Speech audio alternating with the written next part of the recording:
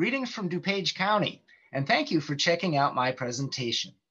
I am a researcher studying singing insects and a volunteer steward in one of the forests in the DuPage County Forest Preserve District. Here are the main questions I will be addressing here. First, what are singing insects and why are they worth monitoring in the context of restoration? Second, how do restoration practices impact this ecologically diverse group of insects? Finally, if we restore it, will they come? In other words, given that we mainly are working with plants, when is that enough?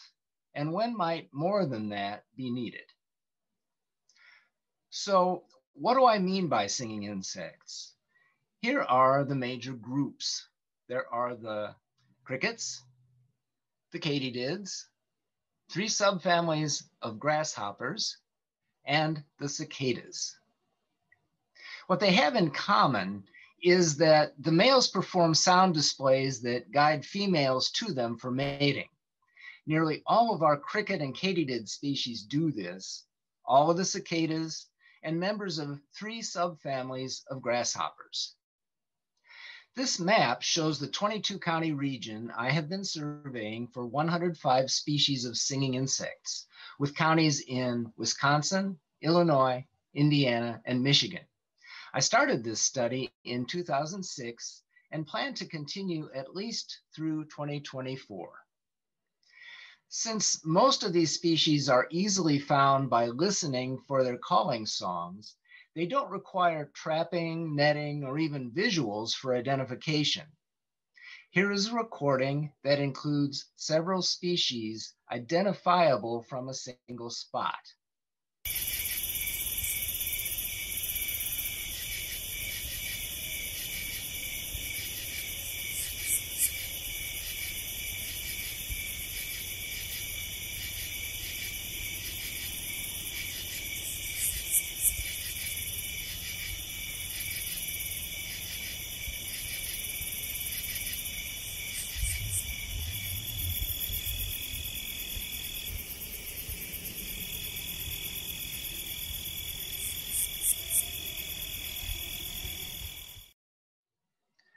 There are singing insects in every habitat type except open water. Some of these are very habitat specific and limited to high quality habitats and remnants. The longhorn band-winged grasshopper needs grasslands with some open sand. The prairie cicada is limited to just a few remnants and apparently has been lost from some sites where it occurred in the recent past. The short-winged toothpick grasshopper is a western species that apparently has been lost from some sites where it once occurred. I have found it only in the Illinois Kankakee Sands Prairie. Here are three katydids of our wetlands. They only occur in marshes devoid of invasive plant species, though the long-tailed meadow katydid may occasionally go into adjacent patches of hybrid cattails. The dusky-faced meadow katydid once was abundant in every marsh, but I find it only in the relatively few sites where native wetland grasses remain common. The marsh conehead so far has proven to be common only in marshes of the Indiana dunes. Our forest species generally are in better shape, though only our better quality woodlands have some of these singing insects. The rattler roundwing's song has a distinctive rattling sound, as the name suggests, and occurs on native understory plants. The confused ground cricket lives in the litter and sometimes wanders into adjacent grasslands.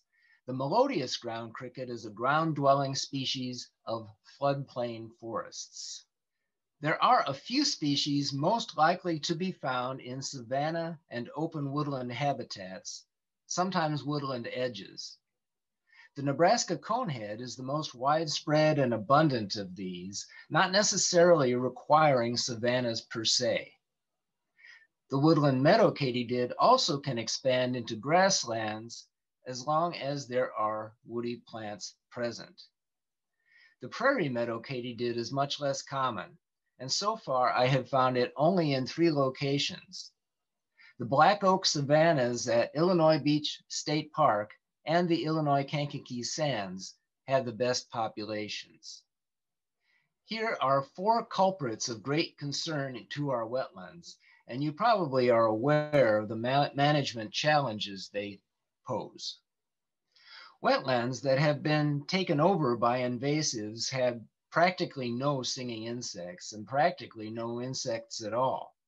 As the slide indicates, there are two species, the gladiator and black-legged meadow katydids, which can occur in small numbers in reed canary grass. Dusky-faced meadow katydids, as mentioned earlier, are no longer ubiquitous, and I celebrate every time I find them in a new site.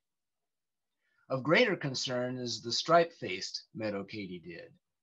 It once was known from scattered counties across my study region. I can find it in only one location now, the swales and fringes of the Dead River at Illinois Beach State Park. A large part of our effort in forest and woodland restoration involves removing invasive shrubs, notably the buckthorns and bush honeysuckles. Here are four singing insect species that live in the understory or on the ground, but you won't find them where those invasive shrubs dominate. A question that comes up with respect to invertebrates and restored prairies is the impact of controlled burns. The last forest preserve where I was stationed before I retired was Mayslake in eastern DuPage County. Usually the several meadows, prairies, and woodlands received controlled burns in different years. But one spring, they all fell on the schedule at once, and essentially the entire preserve was burned. At first, I was a bit concerned about this, but then I realized that there were no rare singing insects there. This would be a good opportunity to assess the impact of the burns on the populations I had been monitoring for years. These were relatively good burns, about as complete as you ever get. Even so, there were areas, especially around the edges, where the burns were incomplete. Often the fire quickly burned past some taller herbaceous stems and left them untouched. So what happened? Species that lay their eggs in the soil were essentially unaffected. Species that lay their eggs in herbaceous stems and that overwinter at, as nymphs were reduced for a time, but not eliminated. As the season proceeded, I saw how survivors in the less completely burned areas spread into the completely burned areas. I concluded that as long as an entire area is not burned and populations are given time to recover, the singing insects and other species like them are compatible with controlled burns. Once sites are established, I suggest that we wait at least three years between prairie burns. Burns burn only part of the site at a time and wait two years between adjacent parts. Establish observable criteria for determining that a burn is needed. In other words, don't simply be slaves to the calendar, but get out on the ground and look for evidence that a burn is needed. Here are some species with limited dispersal ability, which I have found only in remnant ecosystems. Black dots in the maps are locations where these species still occur. Open circles are places where they were known historically but no longer can be found. Cicadas are thought of as strong flyers, but the prairie cicada does not disperse. I have seen them apparently trapped within one remnant prairie that was separated from another, apparently identical patch of prairie by only a few hundred meters of low brush and wetland. The sphagnum ground cricket is limited to sphagnum bogs, which are too far apart to be reached by such essentially flightless insects. Prairie meadow katydids and stripe-faced meadow katydids likewise are stranded on habitat islands. Good dispersers are the relatively common ones. Here are examples from the four groups of singing insects. As you can see from the many dots on their maps, They have had no trouble maintaining populations in many places. They easily move into newly restored habitats. If you have restored an area, the important factors determining which species will find their way to your site on their own are listed here. They include items mentioned already, such as dispersal ability, proximity of population sources, and dispersal corridors. The common species will have no trouble, but what about the rare ones? Here I emphasize the extreme importance of remnant sites because often the rare species are trapped there. As remnants are allowed to degrade, their poorly dispersing residents are lost. Little work has been done with insect reintroductions, so we don't really know much about this. I have read of one successful experiment with butterflies in Europe. In our region, the Nature Conservancy successfully introduced prairie meadow katydids to the Gensburg Prairie. Their source population was the one at Illinois Beach State Park.